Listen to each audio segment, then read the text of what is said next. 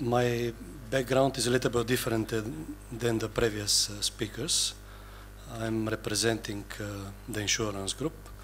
What is the main difference? Actually, we are the ones uh, who pay for all this you talk uh, the whole morning, uh, together with our friends from the, from the reinsurance uh, companies. So this is why I'm going to try to, to talk for more practical problems which our group faces uh, when dealing with uh, increased uh, insurance claims in the, in the countries and the region we are presenting. Actually, very, very briefly, few words about uh, our uh, company. Euroins Insurance Group uh, is headquartered in Sofia about 20 years ago. As of today, we have presentation in uh, five countries uh, in the region. In four of them, we have uh, daughters uh, insurance company, Bulgaria, Romania, Macedonia, and recently in uh, Ukraine. Uh, and in one of the country, Greece, we are working since 2014 where we are now establishing our operations as a, as a branch office. So what is uh, peculiar for this uh, region, all of these countries are neighbor countries, but they are totally different uh, like insurance environment. Uh, we have uh, two EU countries which joined EU together around 10 years ago, Bulgaria and Romania, we have Macedonia, which is uh, still non-EU market, regulated one with regulated prices, not yet liberalized. We have uh, Ukraine, let's not so, so much focus there today. We have Greece, which is uh, uh, not a part of maybe from the CE region because it, it is long-term EU countries, but uh, with our experience from this country, we learn also about uh, how to deal with the increasing uh, claims uh, ratio. So basically, uh, it was very interesting discussion to me uh, this morning, and especially the, the panelists which have just finished their, their talks. when I tried to make some conclusion because there was a uh, question what is what is more what is really the most important when dealing with the increased claims ratio. Is it underwriting? Is it claims? Is it fraud? Is it something else? Of course uh, it's difficult to differentiate uh, which one is the top important. They all goes together and none of this should be underestimated. And this should be constant because uh, you can never say I, I have the best, the, the best underwriting uh, strategy, that's it, uh, I build it, or same with claims, or not even mentioning, mentioning the fraud system, the, the fraud problems. But definitely if I have to, a little bit pointing out something which is really the, the top one on the, on the queue of, the, of these events, of course, is, is underwriting. And why, why is so uh, difficult to deal in such a different uh, insurance country? Because for every country you should have a, you should have separate strategy. This is not this is not market like I don't know. Perhaps uh, because we are not presenting in uh, Austria, Germany, maybe maybe they looks like each other. But between Bulgaria and Romania, even though they are quite similar country-like environment, basically they are they are quite different. And this is why also our portfolio is differentiated because you have to build your portfolio in a way to address the, the peculiarity of the, of the market. Uh, and uh, make the link with the previous uh, speakers, I was really impressed from the figures 43% uh, of the claims in green card is coming from basically from the CE region, from the 16 countries in which uh, we have four or five countries where we are presenting. What I can say, we, we try with uh, building our portfolio to be as much as less exporter of this of these claims, although although this is this is a difficult this is a difficult task. Uh, for example, you Michael, you ask uh, so many times the question, can you do something uh, with this uh, strange transfer of plates using better price regime, etc. Of course, it's, it's very difficult to address such issue. And because to me was, was sitting our CEO in Romania, and I asked him, what, okay, what we do to address this? And he said, you know, that there are some specialized uh, brokers in this business. So what we do, we, we just don't work with them. Of course, this is, this is not enough. Uh, and this is really one, one example how, how tough is uh, uh to address all these, uh, all these difficulties uh, of the market. also, the other important description of, this, of these markets is that before we, because we, we shall talk for digitalization uh, on the next uh, panel, uh, self-autonomy car, etc. We are, we are still on the other agenda, and if I have to forecast when this agenda will come to the region, okay, maybe, maybe, maybe sooner, maybe later, but, but we still have a lot of things to do before we to before we to discuss this issue. Just, just one example to describe the environment in in Bulgaria. Uh, if, if, for example, we we think uh, that the electric cars are uh, important indicators to guess what will be the, the spread of the self-autonomy car in this market. Do you know how, how many uh, Tesla cars uh, there is in Bulgaria? I, I have no chocolate to give you, but just, uh, just name it, registered. Okay, four. Four is the answer.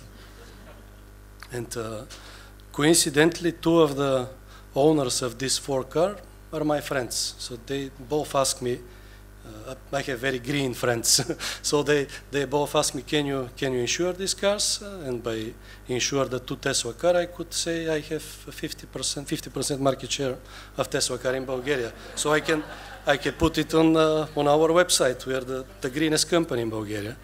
Uh, so I, we, I thought a little bit, and then I asked, uh, where is the, the nearest uh, Tesla dealership uh, to Sofia? Do you know where is it? Here in Vienna. So it is exactly 1,000 1, kilometers. So to me that was enough uh, to refuse uh, to insure Tesla. But that is just uh, just one example how this, this subject, is, and that is the reason why we have not yet uh, created working group in, in Euroins how to address the safe autonomy car. Uh, perhaps contrary to, to your company, Michael, which is different market.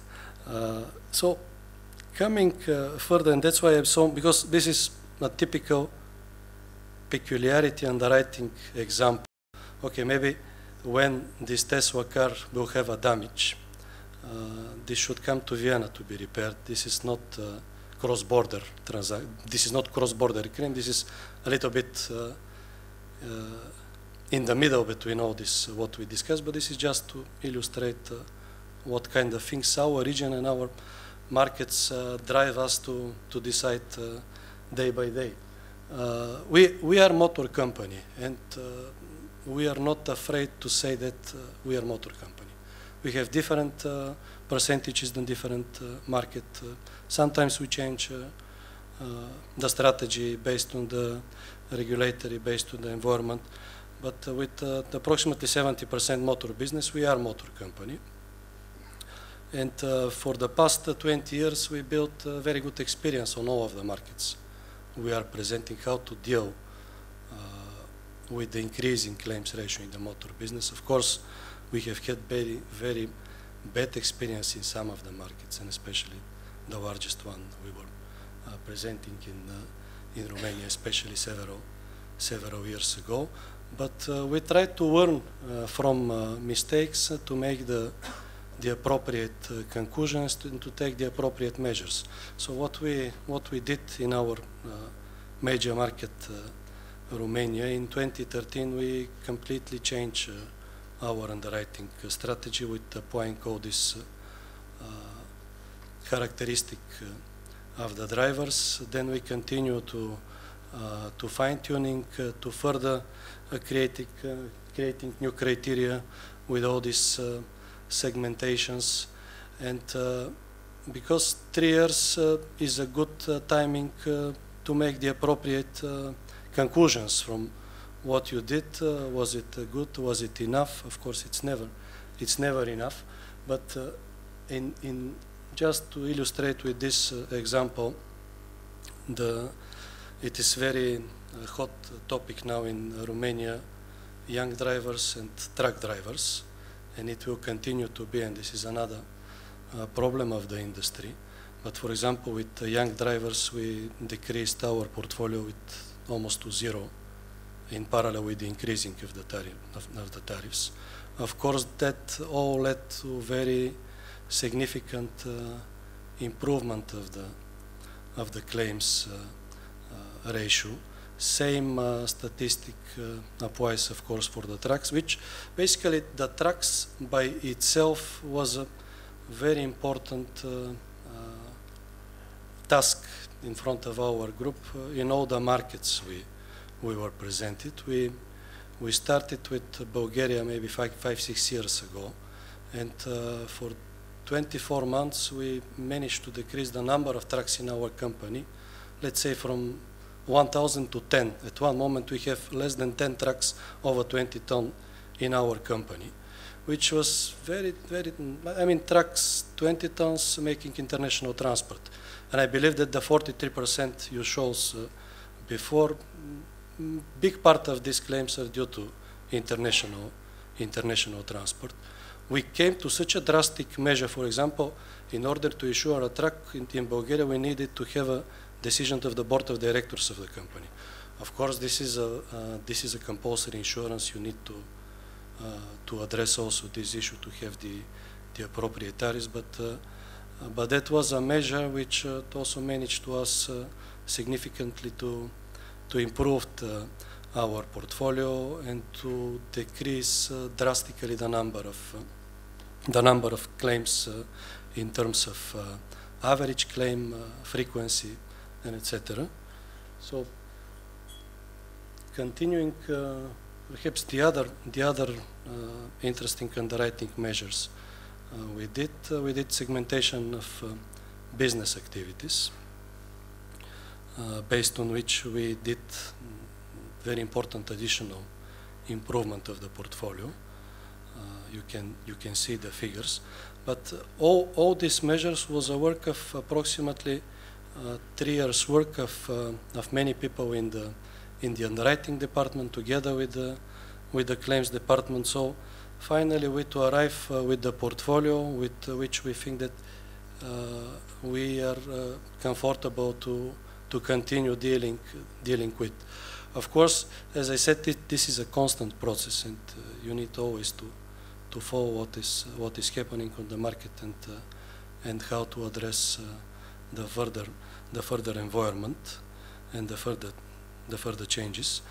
Uh, contrary to this, mm, why I'm saying that uh, the Bulgaria and Romania are still quite different, different countries. Let's not mention Macedonia even.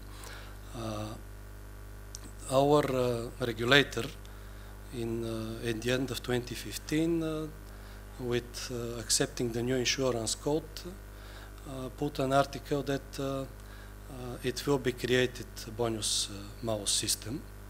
Uh, it will be hire a consultant who to develop this. So all this process is going on. But what I'm saying is that we are now beginning of 2017 and still in our country we're discussing bonus malus system. And where is digitalization? Where is uh, uh, where is where are all the other advanced technology which uh, which we need to work on? So I mean that we need we need first to put a basement on the market and then to go and then to go further, which uh, does not mean that we were just sitting in Bulgaria and expecting uh, the regulator together with the consultant to develop a bonus malus system. Even now there is a, a full statistic in the auxiliary fund. Uh, every insurance company has a connection with the auxiliary fund. So if you have the, the IT the IT connection, you could make uh, inquiry and within a second you to get uh, claims history of your, your potential clients. But uh, uh, in order you to apply bonus malus system, of course, you need uh, to be followed by, by at least by the major competitors, which is still not the case on this market. So we continue to be very firm and disciplined in this process, and no matter what the other companies are doing, we continue to to to follow bonus malus system in Bulgaria. And for example, because still uh, in those markets, uh, the brokers are important are important channel in Bulgaria as well. The larger retail brokers, when a client is entering uh, uh the shops, uh, of course they are, they are printing uh, the comparison to the tariffs, and usually the client is choosing is choosing the cheapest one. And why such large broker does not work with us in Bulgaria? Because in order they to work with us, uh, they have to make this inquiry to our company and we to ask the auxiliary fund and let's say 15 seconds later we to return our tariff. So they had to create one uh, small uh, connection between their system and ours and that was a problem for them because another 15 companies does not require this from them. They just print the prices and it's okay, we, we can live without, without Euroins to be, to be on the table. So finally we managed to convince them, okay, we will make this uh, uh, extension to your IT system. We will establish the connection, and so we started working with one of it. And he was he shows how, in the best categories which we believe are best, uh, we we can have uh, very very competitive prices, and by that uh, he he increases its uh, its share, and we also get get additional channel. So what I'm saying is that it is not according to the to the forces of, uh, uh, of any of the insurance company on those markets to, to turn the market. It, it can be done only with, uh, with all the forces of the association regulatory body. Of course, all of, all of you in this room, you are exactly the, the auditory which, which should try to to change the, the thinking of uh, the insurance company, the thinking of the clients uh, as well because when we address the point for the for the young drivers and uh, for the truck drivers in Romania, it, it, it became to be a social problem. And I understand the concern of the of the regulator and the government because really the prices are going uh, were going up with a with a very with a very high with a very high speed. But but where where is really the the solution of this if uh, the majority of the companies are using this uh, simple model, which is basically A and B of the insurance industry.